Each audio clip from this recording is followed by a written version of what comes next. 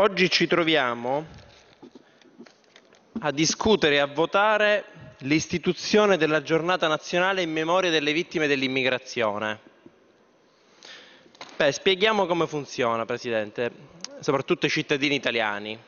Le leggi che vengono discusse in Parlamento vengono decise in una conferenza dei capigruppo, dove per regolamento la maggioranza, in questo caso ovviamente il PD che ha un nutrito eh, numero di parlamentari alla Camera, ha la possibilità di eh, presentare e chiedere la candidazione di delle proposte di legge eh, con ovviamente un certo grado di successo, cioè di vederle arrivare non solo in aula ma anche approvare. Ebbene, secondo voi il PD nel paese più corrotto d'Italia, in un paese comunque con tutte le difficoltà che sappiamo, cosa avrà scelto come proposta per, nella sua quota? L'abolizione del vitalizio per i condannati per mafia? La proposta di legge sul reddito di cittadinanza? L'istituzione di una class action seria? Una proposta ancora migliore di quella presa in giro che la legge anticorruzione approvata al Senato? Una legge sulle fondazioni dei politici? Una legge sul sistema delle nomine dei dirigenti generali delle ASL fatte con concorso anziché con nomina diretta? La prevenzione e il contrasto al gioco d'azzardo patologico? Il conflitto di interessi? Il dissesto idrogeologico? No.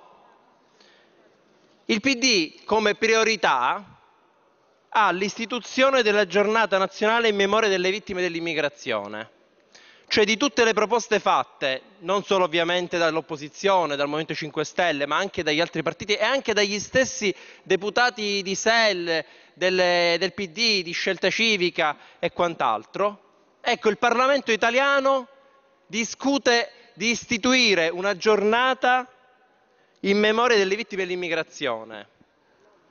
E inizia un dibattito ridicolo, ridicolo sull'immigrazione su come risolvere l'immigrazione, su come contrastarla, su chi se ne approfitta, su chi è più sensibile alle vittime e così via.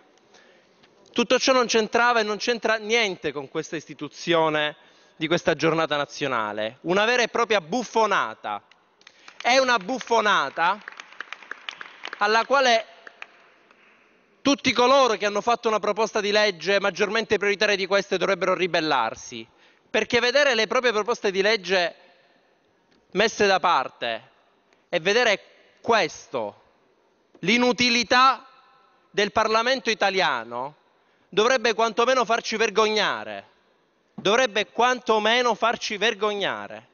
Mentre noi abbiamo la gente che dorme in mezzo alla strada, le persone che muoiono nei, nei pronti soccorsi, abbiamo le strade che crollano, abbiamo milia- milioni di poveri, circa 9 milioni, e non sto qui a raccontare cosa succede ogni volta che piove in questo paese, perché lo sappiamo più o meno ogni anno, appena piove cosa accade.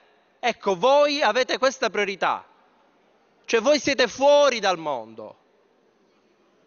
Io non capisco come possiate pensare di votare a favore di questa proposta, ma non nel merito della proposta voi dovreste dire è un'offesa alla mia dignità di uomo. Quando il signor Cooperlo, il deputato Cooperlo, fa il suo bellissimo intervento sulla sensibilità, sulle storie di queste persone che vengono dagli altri paesi, per cercare di spiegarci come è importante ricordare, noi dobbiamo ricordare questa, le tragedie che vive questa gente. E chi è che si ricorda di quelle persone che muoiono in quelle merde di pronti soccorsi che abbiamo in Italia? Chi è che si ricorda di cosa significa fare una chemioterapia? Una chemioterapia magari in una clinica privata perché negli ospedali pubblici c'è lo schifo. Chi è che se lo ricorda?